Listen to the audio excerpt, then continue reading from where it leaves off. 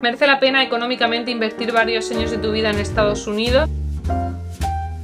Hola a todos y bienvenidos un día más al canal. En el vídeo de hoy, en lugar de un vlog más, tenemos la segunda parte de un vídeo que subí hace unas semanas. Era un preguntas y respuestas que me habéis dejado en Instagram y os contestaba de todo. Sobre el trabajo en Estados Unidos, sobre el bebé en YouTube, sobre si el bebé tendría una dieta vegana. Contestaba millones de cosas, pero la verdad es que había tantas preguntas que me pasé como hora y media grabando y os pregunté en Instagram si queréis que seleccionara las más juicy, que dividiese el vídeo en dos que ya que me estaba esforzando en grabar vídeo no dejase ningún contenido sin subir. Así que primero os agradezco la empatía y el cariño y como la dedicación que también le ponéis al canal en ver los vídeos. Me hace muy feliz y de verdad me hace sentir súper agradecida. Si no habéis visto la primera, os recomiendo que vayáis a verla porque son preguntas totalmente distintas unas de otras. O sea, ya digo, no estoy repitiendo preguntas, estoy contestando todas las preguntas que me hicisteis. Así que nada, espero que disfrutéis de este vídeo y no me enrollo más. Os espero en el próximo vlog más.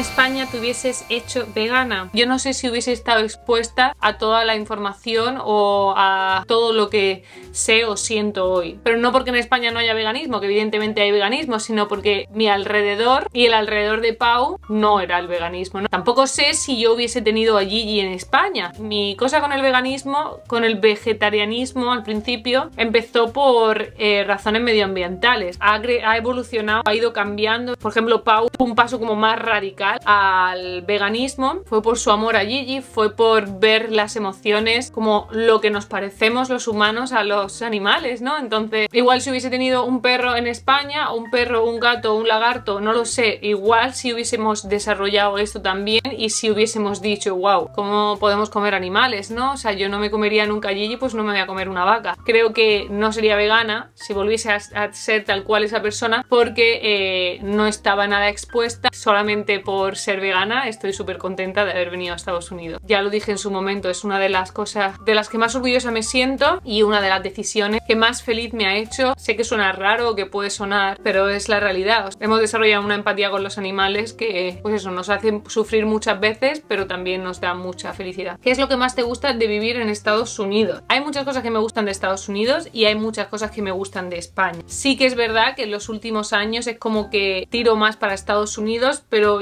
igual es porque mi vida está aquí. Diría que lo que más me gusta de Estados Unidos es que es como más libre en el sentido de que no hay tan que no se te juzga tanto, ¿no? En, en todo, en tonterías tipo ropa, en veganismo, por ejemplo. Cuando voy a España, no solamente yo, Pau también, nos sentimos como muy poco entendidos. Hay excepciones, ¿eh? O sea, esto no es un... Eso es hablando en reglas generales. Por favor, no me toméis a la puntilla porque entonces sí que es verdad que me lío hablando porque pienso que vais a buscar y que no vais a entender y que... Pero en reglas generales creo que aquí está como mucho más aceptado. En todos los restaurantes encuentras algo vegano que no sea una triste ensalada. La gente me da la sensación de que, o al menos en Los Ángeles, eh, ¿vale? Sabe lo que es el veganismo. Para mí está como mucho más a la orden del día aquí. Es una de las razones por las que a mí me costaría irme de, Estados Unidos porque en el súper, en los restaurantes, en todas partes me siento mucho más cómoda que cuando voy a España, que es sobre todo a la hora de salir fuera, sota caballo rey. Sé que en Madrid, en Barcelona, es que ya me estoy viendo los comentarios venir, sé que hay opciones. En Mallorca, por ejemplo, hay muchísimas opciones porque además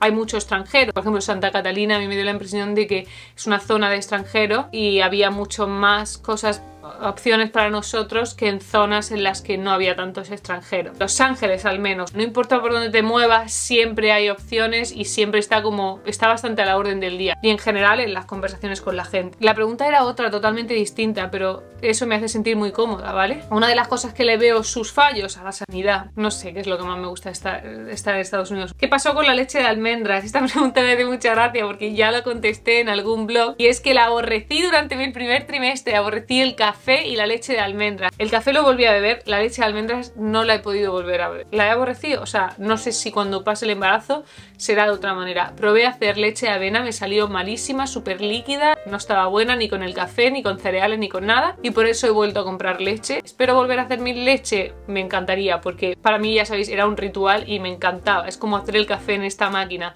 ¿Se tarda más? Sí, es mucho más, pues eso, un ritual también, y me gusta, me gusta hacerlo. ¿Qué nacionalidad tendrá el bebé? La idea es que tenga las dos nacionalidades. Eh, nacerá con la americana porque ha nacido aquí, pero aplicaremos a la nacionalidad española. ¿Cómo te planteas el parto? Epidural, dilatación, cordón, placenta. Esto es algo bastante íntimo. No quiero compartirlo hasta que haya pasado por ello, porque me, no es que me haga sentir vulnerable o que crea que haya una opción correcta o incorrecta, más bien como que me da todavía mucho respeto o con la seguridad de que mi cuerpo está preparado y mi bebé está preparado para ese momento, pero también hay muchas cosas que pueden ir como queremos o que pueden ir como no queremos o que podrían salir mal o que pueden salir bien, entonces como que prefiero eso, hablar del tema cuando haya pasado. Le hablaréis en español, catalán e inglés. Antes de yo quedarme embarazada yo le decía a Pau, bueno, es que yo no quiero que le hables catalán. Ahora me cuesta menos porque estoy más acostumbrada, pero cuando he ido a Mallorca me he sentido muchas veces pues que se habla mallorquín muy rápido y sobre todo cuando hay mucha gente y no te enteras del todo, ¿no? Es como que tienes que esforzarte en pillar de aquí y de allí. Me encanta cuando la gente tiene en cuenta que eres de la península y se te habla en castellano. Lo siento los que habléis catalán y mallorquín. Sé que igual decís, pues es que nosotros estamos acostumbrados, es que, vale, pero es que yo no hablo en inglés por mucho que yo aquí hable en inglés cuando voy en España, porque no, es como que a mí me gusta que se me hable en un idioma en el que puedo captar todo. Entonces, evidentemente no me importa que el bebé aprenda catalán, mallorquín, mejor para él. No me importaría a mí tampoco aprenderlo, pero sí que es verdad que en mi día a día, no que el bebé conmigo hable español y con Pau hable mallorquín, ni en la calle hable en inglés, que todos entendamos. Aunque luego entre ellos hablen mallorquín unos ratos y aprendan y se enseñen, me parece estupendo. Pero a mí me gustaría no sentirme como que no me estoy enterando de lo que se está hablando en mi casa. No sé lo que va a pasar, no lo hemos vuelto a hablar en realidad durante el embarazo, esto fue pre al embarazo. No sé si lo has dicho alguna vez, vi que os echaron a todos, pero ¿de qué trabajabas? Trabajaba en marketing. Me habéis preguntado mucho por los Littles, ya no es amiga de Rebeca, sigue tu amistad con Rebe, ya no viven en Los Ángeles.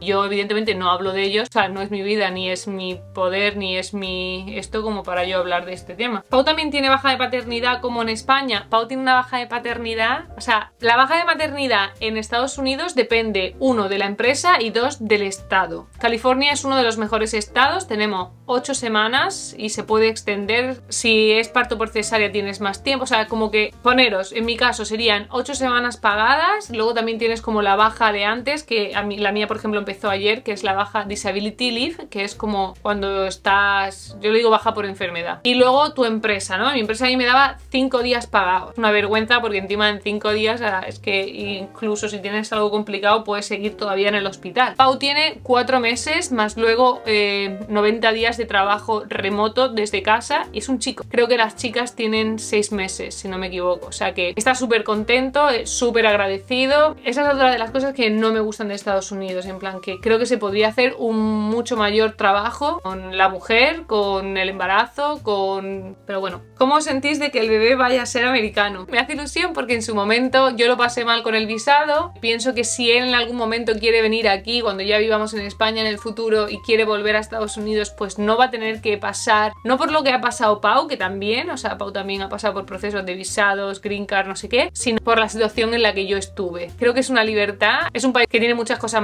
pero también tiene muchas cosas buenas. Aquí nuestra relación ha madurado y ha mejorado aquí con los años, entonces yo siempre le voy a tener cariño a Estados Unidos, que me hace ilusión, pues por eso, que tenga la libertad de volver en algún momento si quiere. ¿Cómo llevas la ortodoncia? Pues no la llevo puesta, como podéis ver. La llevo bien, pero he sido un desastre desde agosto. Me cambio las fundas cada semana. En el primer trimestre me daba mucha angustia el sabor al plástico, entonces me forzaba, me forzaba, me forzaba. En el segundo trimestre, pues eso, cuando estaba en España ya era como me lo ponía solamente para dormir. Y entonces una funda la llevaba como dos semanas. Mi dentista me dijo que no pasaba nada, que era mejor eso a que no me las pusiera directamente. Así que he ido un poco como con la calma. Estoy súper contenta con los resultados. Me da rabia que si hubiese hecho un mejor trabajo en los últimos meses, los tendría todavía aún mejor. ¿Cómo haces para tener un estilo a la hora de vestir? Me encanta tu ropa. Justo yo considero, y se lo digo a Pau, en plan de que yo no tengo mucho estilo a la hora de vestir. Me agobia bastante ir a las tiendas a ver ropa, en plan tipo entrar en un Zara y todo eso, eh, cojo ansiedad. Antes sí me gustaba, ahora nada. Cuando os digo la Raquel de España, me flipaba y cuanta más ropa mejor. Y he pasado etapas en las que iba mucho en chándal, eh, leggings, ropa de deporte. Ahora como toda esa ropa se me ha quedado pequeña, voy mucho como en sudadera grande, pantalón ancho, cuatro cositas, sobre todo por el embarazo, porque creo que no me compensa invertir mucho en esta etapa en ropa. Simple, vaqueros, colores más o menos neutros, colores pasteles, como que me pongo cualquier cosa en realidad, pero no soy de estas chicas súper de moda, de tendencias, de botas cowboy. Me encanta verlo, ¿eh? Pero luego yo me lo pongo y me siento disfrazada. Merece la pena económicamente invertir varios años de tu vida en Estados Unidos. Esto yo supongo que cada uno allá con su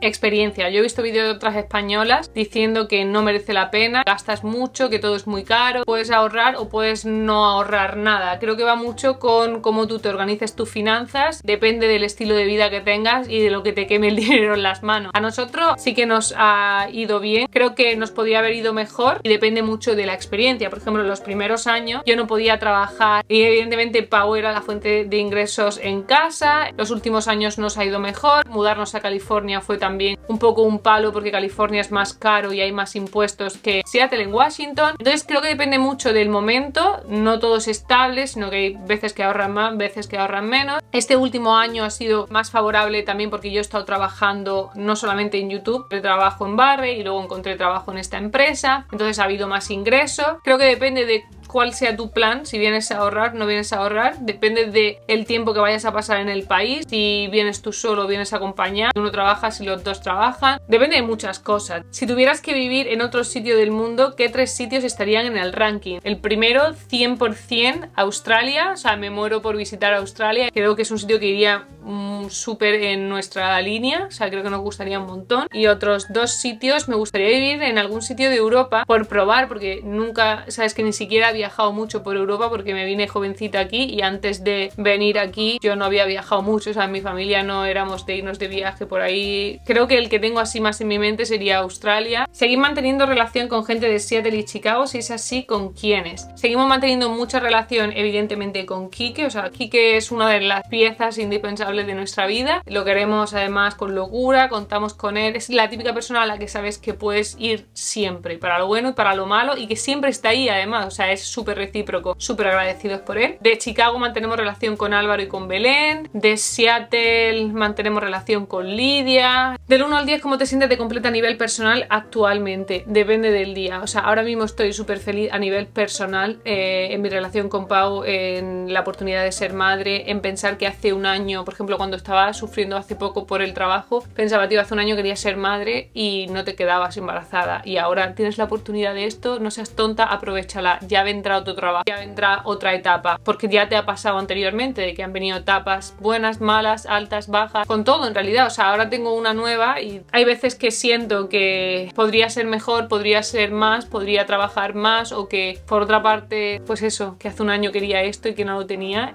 y pensaba que igual no lo iba a tener nunca. ¿De dónde sacaste información para saber cómo combinar mejor los alimentos siendo vegana? Creo que el veganismo a la hora de la dieta se aprende en internet, 100%. O sea, yo leí libros, pero luego es que iba copiando de restaurantes, cogiendo recetas de internet y te vas volviendo creativa. O sea, es como que ya se nos ocurren cosas sobre la marcha porque ya son esos los ingredientes que hay en nuestra vida. Al principio, y hablo del principio principio cuando era vegetariana, pues con qué hago la pasta. Así que en mi casa la pasta siempre ha sido con tomate y carne. Y ahora en la vida pienso con qué hago la pasta. Cuando vas fuera comes pasta vegetariana vegana. Cuando buscas recetas en internet siempre buscas vegan, o sea, siempre buscas con el adjetivo. Entonces dejas de estar expuesta a recetas que no te interesan o que no esto porque uno, no las comes, dos, no las buscas, tres, ya ni siquiera internet te las muestra porque sabe que te tiene que mostrar contenido vegano o vegetariano. Entonces creo que es cuestión de tiempo, es como el deporte. ¿Cómo consigues resultados con el deporte? O sentirte cómoda haciendo deporte y como motivada y como que cada vez las cosas te cuestan menos y quieres seguir subiendo niveles, pues haciendo, ¿no? Pues esto es lo mismo. Nosotros no pesamos, no medimos, no hacemos nada de esto. O sea, a mí, además, si en algún momento de mi vida me he planteado como medir la comida, ¿no? Como medir esto de proteína, esto de carbohidrato.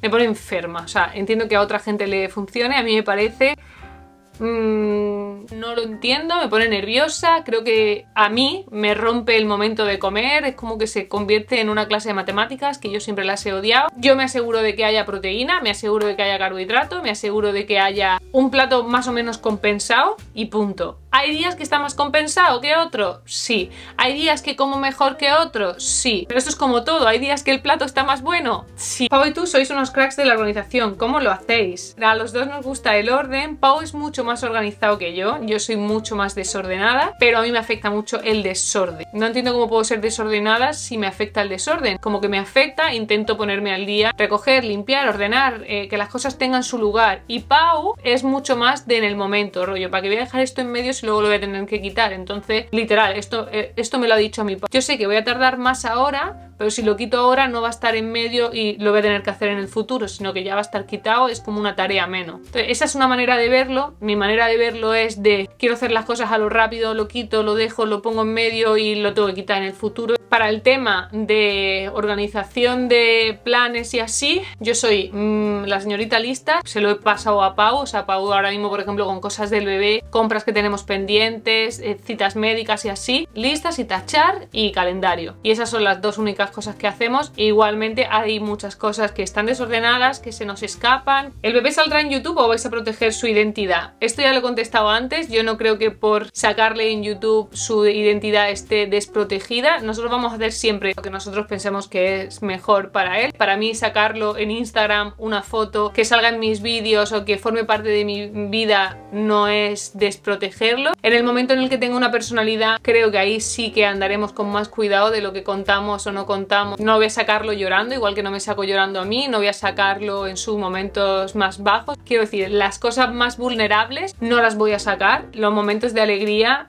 ¿por qué no? Porque además creo que inspiran, que son buenos y que todos necesitamos ver más cosas buenas. ¿Vas a intentar lactancia materna con el bebé? El plan es que sí, ojalá todo salga como nosotros queremos, pero supongo que como muchas otras cosas tendremos que ir viendo cómo es la situación, cómo se nos da y qué es lo que mejor funciona tanto para el bebé como para mí. Bueno, y luego hay muchísimas que no son preguntas, rollo, no tengo preguntas, solo decirte que sigas así de transparente, me encanta ver tus vídeos, vas a seguir con el canal, por favor no lo dejes. Millones de gracias a todos los que habéis dejado preguntas, a todos los que nos dejáis mensajes de cariño, tanto en Instagram como en YouTube. Yo sé que no contesto a todos y os prometo que lo intento, sí que los leo todos. Cuando voy al baño, cuando voy en el coche, cuando paseo, cuando hay muchos mini momentos, micro momentos de estos que aprovecho para leeros y es una suerte que cada vez haya más comentarios. Cuando hay más comentarios, más tiempo me lleva a leeros, más tiempo llevaría a contestar. Entonces siempre intento contestar cuando subo el vídeo y luego en momentos randos también aprovecho. Millones de gracias por todo el cariño, espero que este vídeo os haya gustado, que hayáis pasado un ratito agradable conmigo, que me sigáis por Instagram y por YouTube, que estéis suscritos con la campanilla activada, con todas las notificaciones del mundo activadas, primero porque es Navidad y es mi favorito del año, y segundo porque vamos a sumar uno más a esta familia y os mantendré informados por Instagram y mientras tanto en YouTube va a haber movimiento. Eso, estar pendiente, darle mucho cariño al canal, mucho cariño a los vídeos, porque aunque yo esté un poco más desconectada. El canal os sigue necesitando para que YouTube no me castigue eh, por los siguientes 8 meses. Así que seguid cuidando de este rinconcito que es nuestro lugar de conexión mío, vuestro, nuestro, de todo. Espero que disfrutéis los vlogmas, no sé cuántos se subirán, pero que los disfrutéis. Y nada más, yo os mando un beso súper grande y como siempre nos vemos en el siguiente.